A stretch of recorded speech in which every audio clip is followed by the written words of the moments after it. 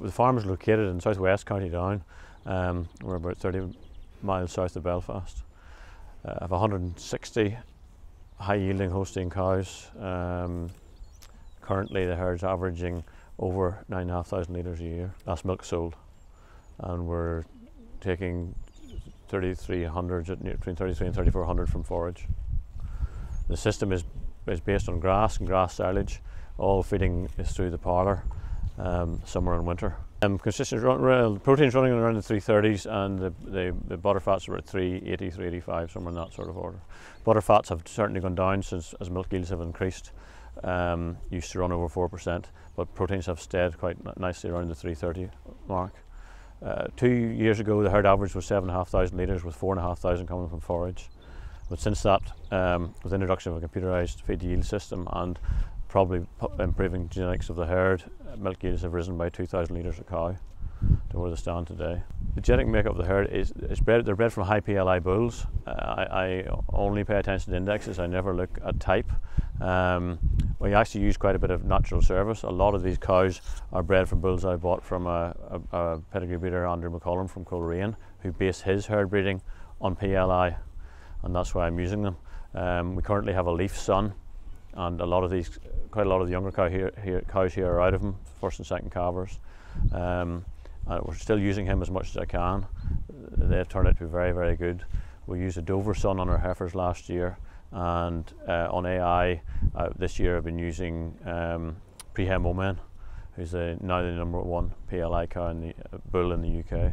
Uh, the first thing I look at is the bull's PLI, then I look at other things, the, the, the health traits, and feet and legs, udders, etc. But the PLI is the first thing I look at. In my entire farming career, which is probably 25 years now, I have seen one um, LDA, and I have only had two, although it's not related to feeding, I've only seen two cesareans. But that's probably related to the fact that I also select bulls and calving and will not use anything that's um, uh, difficult to calve. Calving starts at um, early June. I think the first cow is due on the 6th of June, and we calve through the summer and autumn with calving largely finished by Christmas. There are still a, few, a little bit of a tail end uh, in the new year, which I am working at, at removing. Um, there are three cows to calve in April. We'll have no cows calve in April next year. We'll have no cows calve in March the year after that if the, everything goes to plan. Um, on, on, because it's a, a, rel, it's a relatively spread um, uh, calving, um, I use calving index and culling rate. Calving index stands at 388 days and culling rate is 22%.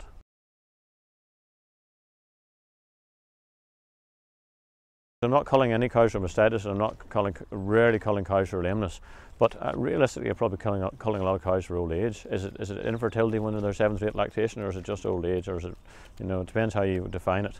But I'm not culling many young cows for infertility, but there are some.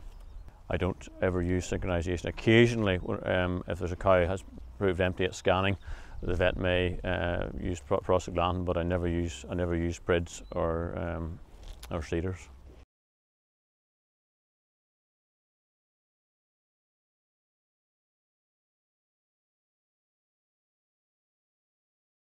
It depends on the time of year. In the in the winter time, I I use the, the bull as much as possible. This is this is against convention again, but I, I, I at grass, and the reason for that is that it's difficult when they're grass to get the cows into the into the bull, and um, I, I won't let a bull out with them for uh, health and safety reasons. Um, so in the summer, most cows are AI'd, except for maybe difficult breeders. I may I may let them into the bull. Transition cows are treated the same way as uh, as all other dry cows. Uh, they, they eat uh, in the summertime they eat grass, and in the, in the wintertime they eat uh, second and third cut silage um, and dry cow minerals. In the, in the, summer they don't get dry cow minerals or buckets or anything else, they just have grass. When they calve they join the milking herd. Um, in fact, and during the summer we try to introduce them to the milking herd before calving, just for convenience of having them calving close to home because they're on a out farm uh, about a mile and a half down the road up to that point. They're not fed any concentrate until the calve, and then they go on to the, the um, once after calving, they they're on a flat rate of about five kilos um, for the first week, and then it's stepped up to the hit feed to yield at about 18 or 19 days. I, I get some. I, I mean, it's, it's just a part of the system. It's something I, I live with. Uh, uh, my the way I look at milk fever is if milk fever is the only problem I have, I have no problems. Um, but there's a lot of there's a lot of smoke and mirrors about dry cow management and transition cow management and, and milk fever and the effect it has on your herd. Uh, it's um, it's all very. I think it's all very manageable. Milk fever. We never have rarely have retained placentas, milk fever or not. Um, uh, so milk fever is just treated the old way with um, a bottle of uh, calcium into the vein and nothing under the skin, and generally that's the problem sorted. The foot trimmer probably comes about every six to eight weeks on average, and I, usually struggle to get more than four or five cows for him at a time. I don't do any routine foot trimming and I don't do any foot bathing. And we don't have a very limited incidence of uh, dermatitis and summertime most of the lameness comes from stone injury from the, being out in the fields. You don't drive on the cow tracks, we don't even have a quad bike so you're only allowed to walk on these cow tracks. Well, there are four main cow tracks on the farm. Um, they're all made from, uh, based on quarry dust. Uh, really just the quarry dust is put down top of the grass and built up. We repair them every year. Uh, the wet season tends to take quite a bit out of them and so as soon as weather conditions permit uh, we'll put more, lay more quarry dust on them, regrade them and fill up any holes the procedure is that cows are allowed to come in at their own speed and once they're into the cow track I go and move the fence and then by the time I get back the cows are generally down by the yard or I bring in chase in the tail end and again they go out at their own speed we open the gate and let them go and then follow them up later we don't drive them hard along the cow tracks.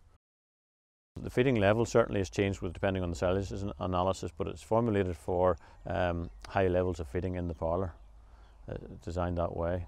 It's the same pretty well the same cake all year round just with the change of protein in the summertime, lowering protein in the summertime. Depending, uh, currently because we're just out to grass um, for short, well, for a relatively short time, as grass intakes have, have increased, the feed curve, curve, has been adjusted a number of times.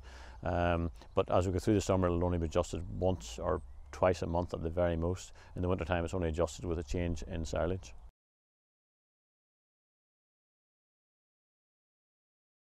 Well, just increasing the, the maintenance plus depending on the, what, what, I think they're getting from forage, increasing or decreasing it.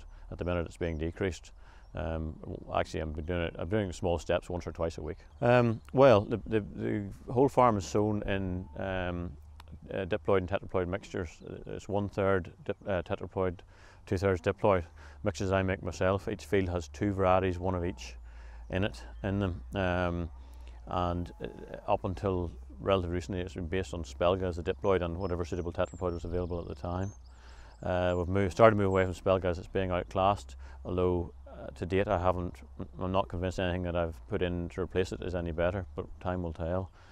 Nitrogen management, the, the farm, um, all of the farm receives 100 weight of urea to the, to the um, acre at the, at the, start of the season, uh, end of February, beginning of March. Um, and then the, the, grazing will receive 40 units of nitrogen from uh, after each grazing. That at the minute is still urea, but we'll move on to ammonium nitrate um, as the weather dries up. Silage will receive a second uh, bag of urea in at the end of March, so getting two bags the acre plus slurry, um, plus 100 weight the acre of um, straight potassium all the slurry goes on. Occasional field of, of grazing that's maybe coming uh, towards the, at the end of the first grazing round. That's going to be grazed last. Something maybe they've been grazed by heifers over the winter might get slurry. Otherwise, no slurry is applied to the um, to the grazing platform at any time through the year. Soil's tested um, every three years, and uh, lime is applied as required.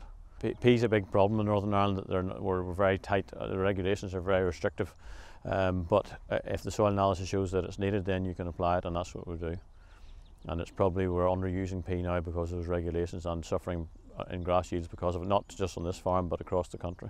Silage ground, we can just generally we can get about 10 years out of a reseed. Um, and depending if it's if, how often it's been cut, if it's if it's cut three times, it's quite hard on it. Uh, the grazing fields, most of them will get maybe 15 up to 15 years out of a out of a reseed. In performance, it seems to work very well. Uh, but yes, the, the, tetraploid I think uh, helps the palatability. Um, so they say, the, the, uh, the, but it just seems to work well in the system, and we get what I think are quite acceptable yields from it. Concern is more about farm profitability than actual utilisation of grass. I know it's important, but um, net farm profit is my, my is the driver here, rather than the amount of grass that can be produced or consumed.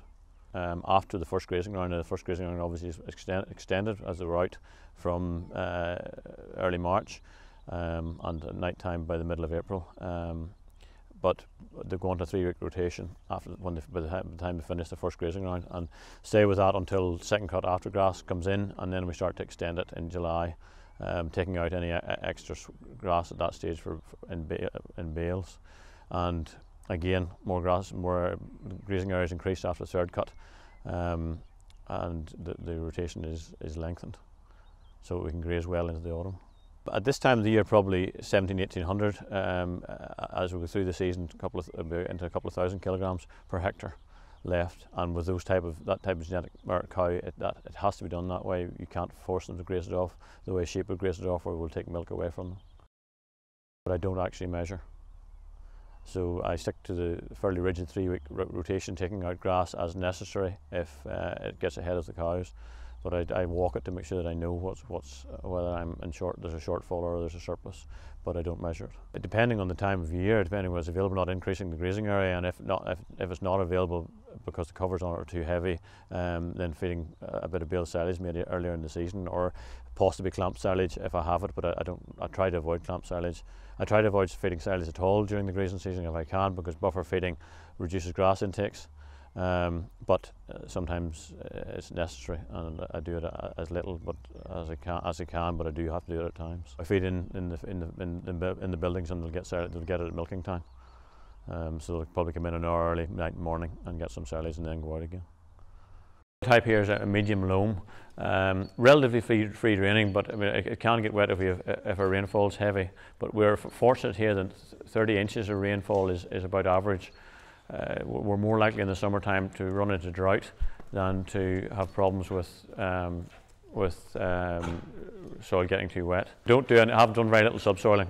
I'm not overly convinced that it's certainly not. I don't think it's necessary on this farm. Uh, I think actually it's probably not necessary nearly as many farms as what others think. The whole farm is drained. It, it, we do from time to time um, re repair drains as necessary, but we have there. We have, I've never had to drain whole fields, just parts of them. Um, well, it's a three-cut system. Um, we try to take as big a first cut as possible. Somewhere this year, somewhere in the order of 140 to 150 acres. That'll be made um, weather permitting, uh, first half of May. Uh, ideally, certainly before the before the 14th. Um, second cut by the end of June. Uh, uh, again, weather dependent, and um, we tend to have the third cut in by the middle of by the middle of August. I don't use additives. Um, I'm a big fan of sunshine as my primary additive. I have never been convinced that the, that the benefit um, is cost effective. Not saying there's no benefit, but I think there's a lot, an, awful, an awful lot of rubbish sold as additive, and it's choosing which particular piece of rubbish you would use. So I've decided not to choose any of them. 11.7, 11.8 ME for first cut. Um, this year it was 29% dry matter, and proteins tend to be around 14, even 15, particularly for third cut. No problem getting to 15% protein in a third cut silage. Well, in, at the end of September, early October, as cows finish, the grazing of those fields are closed, irrespective of what grass is left on them. Um, hopefully, covers will be re reasonably well grazed down, but no, no stock will be on those fields again until the spring cows go out in the springtime, and we continue that process until cows are housed. Um, there's some at the some may be grazed um, by young stock uh, later in the winter if the cows haven't been able to reach it. Um, but as they're grazed, they're closed and no, no sheep go onto the platform at any time. It's probably on 45 days or so, 45 to 50 days, somewhere in that order. I don't stopping topping would stop, but by mid-August there'll be no more topping done, and there's no topping done in the autumn. Um, generally, in the, the, end of May, short, short, depending on growth, if a strong growth, maybe shortly after the middle of May. Uh, that would find if we do, don't do that, then um, by, by the time we get into the next grazing round, it is, it is, it's getting too strong. There's too much stem in the sward. When calves are born, they, they, receive three litres of colostrum as soon as possible after birth, whether or not they, will suck some from their mother. Um, that that will be done certainly within the first six hours or, or sooner. They will get, then get colostrum at their next feeds. Heifer calves, we probably keep them on colostrum for the better part of the, at least the first week. Um, if we have it available and uh, uh, their mothers or, or some other fresh calf cows. There's no Johne's in the herd, so we don't, we don't have that issue to worry about. Um, after that, they go on to whole milk from the parlour. Some of it's waste milk, some of it's just whole, whole milk collected from the tank, um, and we don't we don't use powdered milk. Uh, they're fed two, litres twice a day, and then they get uh, they get water as well. Um, weaned at about 10 weeks.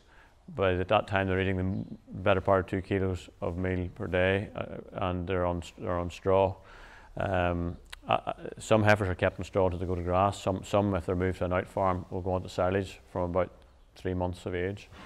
Um, at that stage, if they're on silage, their meal feeding stays at two kilos per head per day. If they're on straw, it goes up to four or even slightly higher than four kilos per head per day.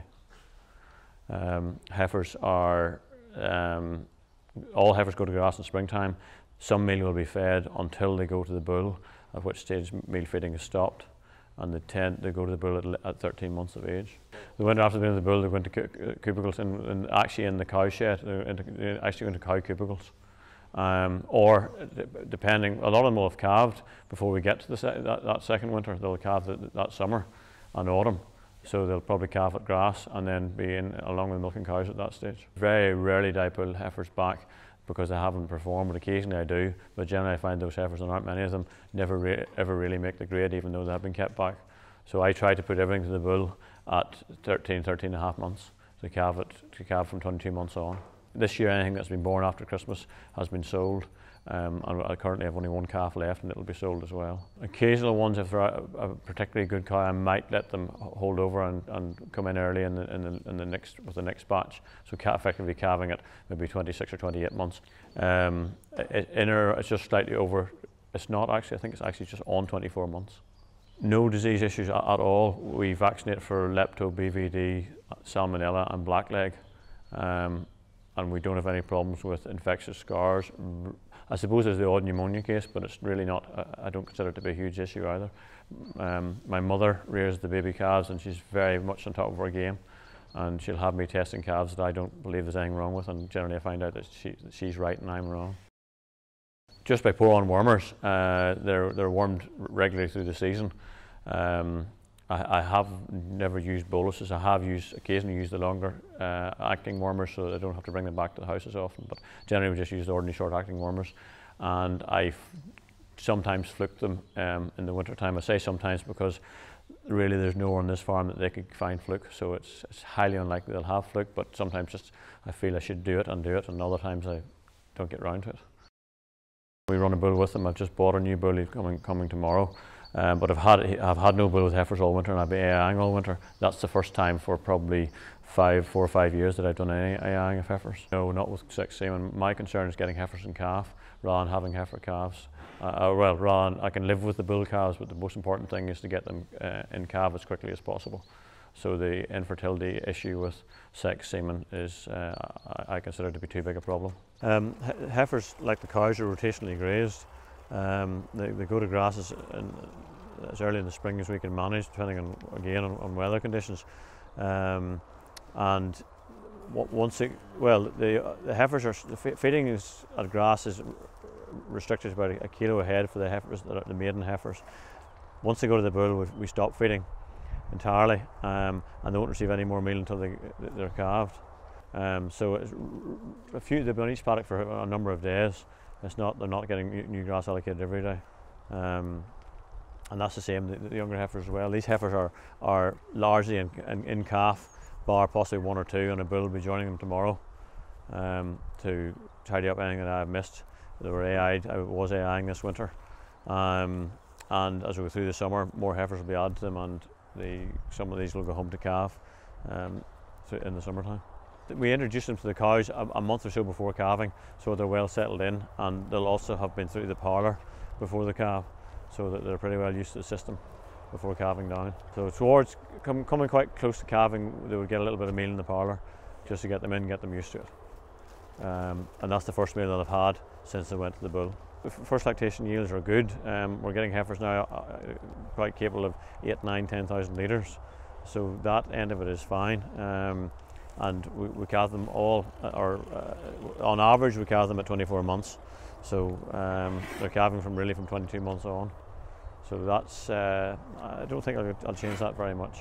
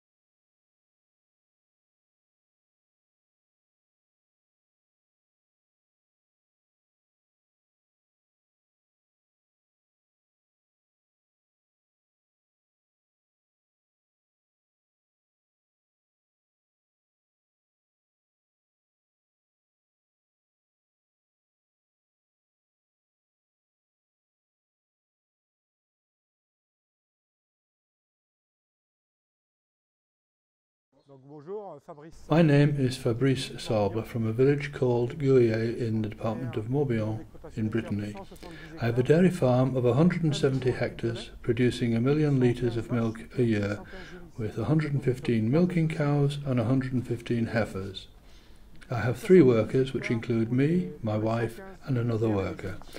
We have 70 hectares which we use for the milking cows and the heifers we have 40 hectares of maize and 30 hectares of grass.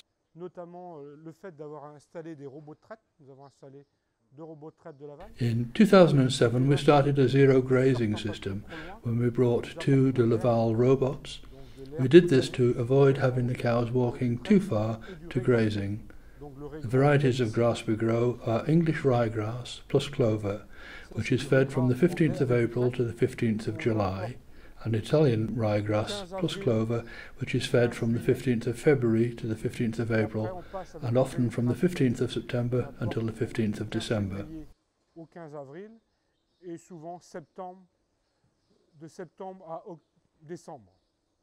This is an English ryegrass plus clover mix in my hand.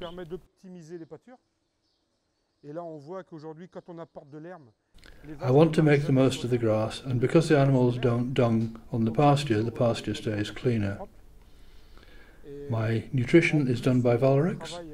We use winter linseed, and that, combined with the grass, produces milk that is very rich in omega 3, which is good for health and cardiovascular health. What we need is a milk buyer that will pay more for this. Perhaps this happens in England. All the dung and the waste is stored and then it is spread later on the entire pasture. Because the cows are in the shed and the grass is from clean pasture, I don't get refusals from the cows that you sometimes get when they are out grazing and the pasture isn't clean.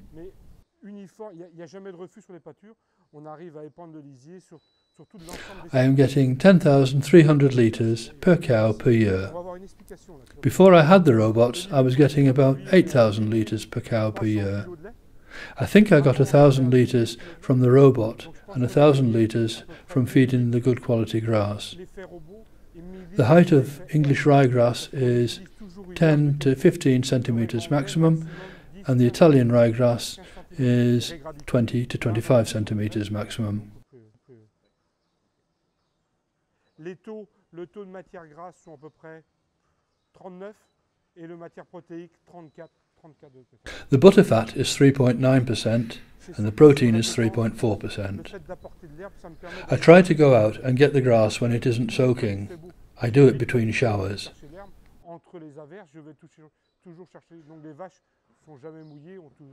The robot goes past every two hours through the day and night, and when it arrives, he gets the cows up, eating more.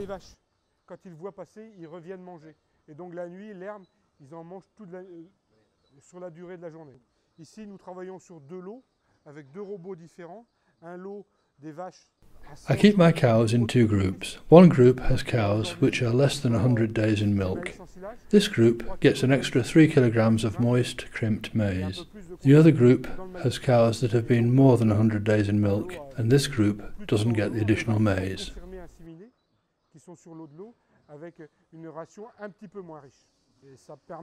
Et donc ça permet aussi par rapport au robot d'avoir moins de vaches sur un robot.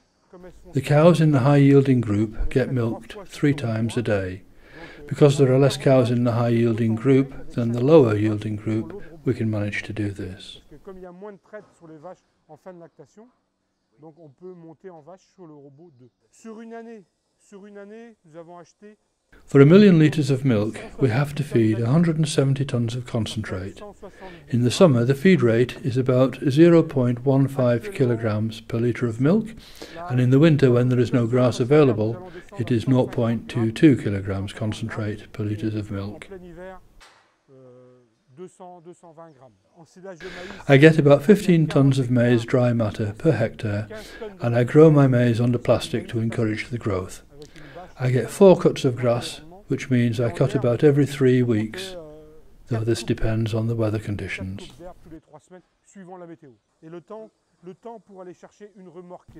The maize is 32% starch. Collecting the grass takes time.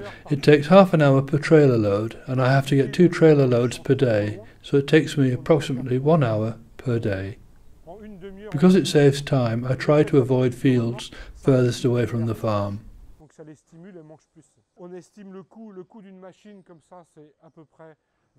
The cost of the machine that picks up the grass is about 25,000 euros.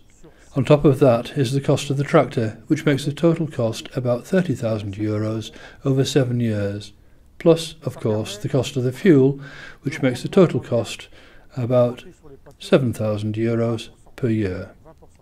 By using this system, I estimate that I increase grass usage by 20%.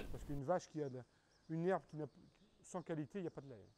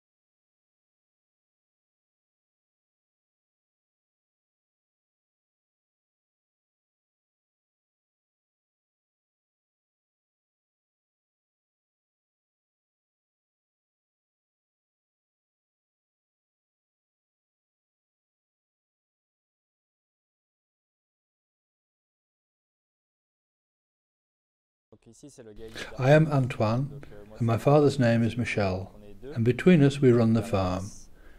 We are currently producing nearly 700,000 litres of milk per year, and with, within one year we want to increase this to 1.4 million litres per year.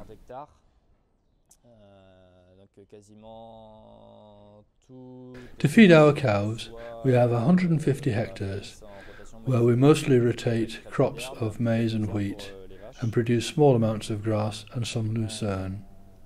As I said, we are currently producing almost 700,000 litres, and we're doing this with 60 milking cows, so that is approximately 12,000 litres per cow per year. The percentage of heifers in the herd currently runs at about 40%. In preparation for the increase in herd size that we are planning, for the last four or five years, we have been using sexed semen on 50% of both the cows and heifers equally. We have also bought 40 heifers last winter. We perform embryo collection 15 times a year. In the last two years, we have only used sexed semen.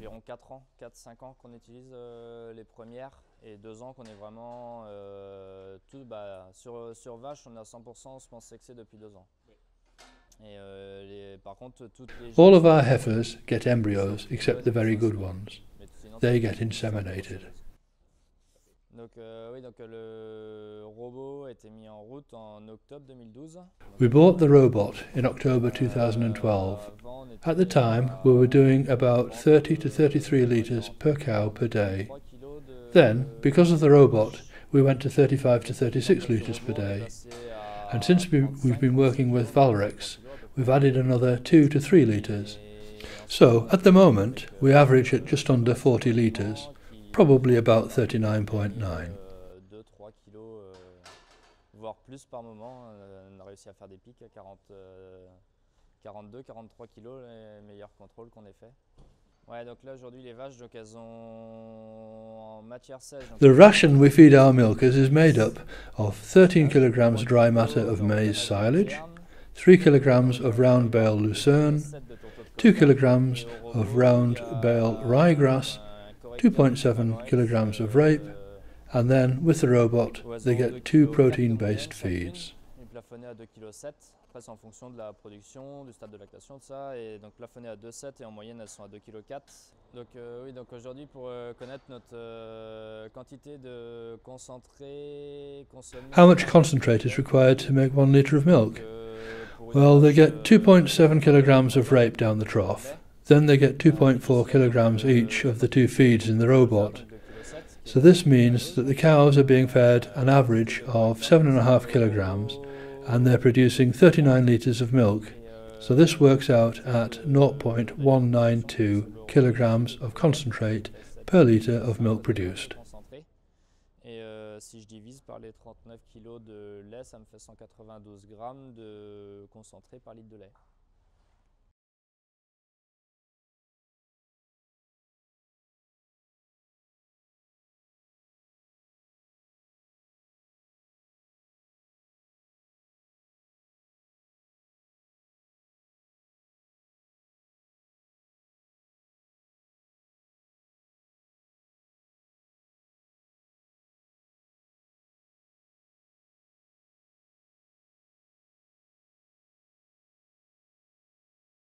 Euh,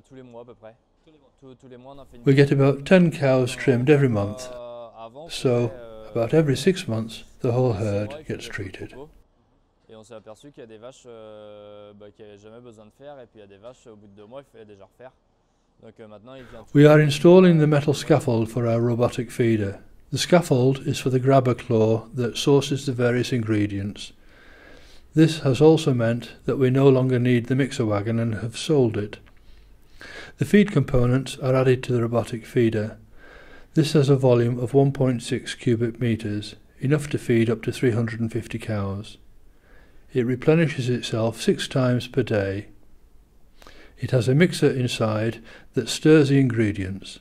In this shed, it passes three times a day. That way, the ration is always fresh. It works completely autonomously, guided by a metallic strip in the ground and photoreceptors. He can travel between sheds using this guide. fais environ 25 hectares, plus ou moins en fonction des rendements. We have 25 hectares of maize silage, which gives us 14 tons dry matter per hectare. This has been sufficient for the cows, the heifers, and the bullocks we've been keeping this year, but these bullocks will be replaced by the heifers that we brought in during the winter. Et en plus, en There's 12 hectares of ryegrass and clover mix, which we've already harvested in round bales before your visit today, 10th of April 2015, so you probably think that's quite an early harvest. There is also 5 hectares of lucerne.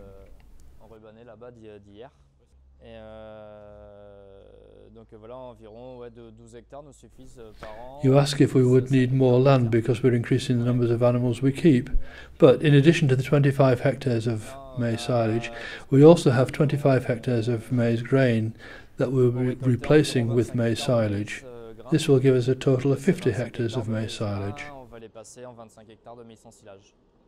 Et on fera euh, de 12 hectares de dérobé, on passera à 20 ou 25 hectares de dérobé. What do we plan to do now that quotas have finished? We have been planning to increase production in preparation for quotas finishing for the last two years. We want to more than double the size of the herd so that we can optimize the second robot that we're going to put in. Our aim is to increase production so we get 700,000 litres per robot, making our total production 1.4 million litres per year.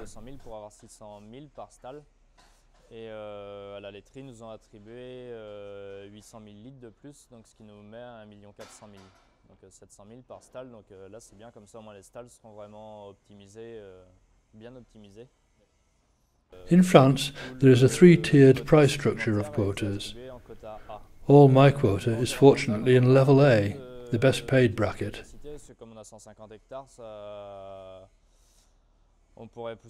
Because of deals we have made with a local cider making company and a local chicken farmer, we have been able to group together to make a slurry spreading plan.